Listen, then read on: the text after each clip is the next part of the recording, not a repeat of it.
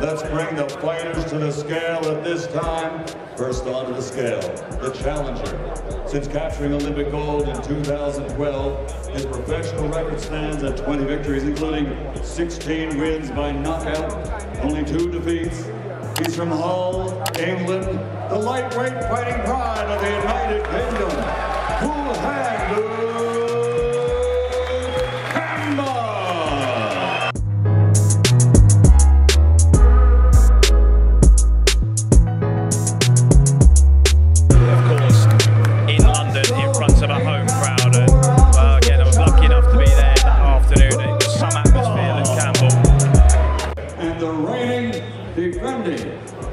unified lightweight champion of the world from Akkerman, Ukraine, the reigning and defending champion, Vasily High-Tech Lomachenko.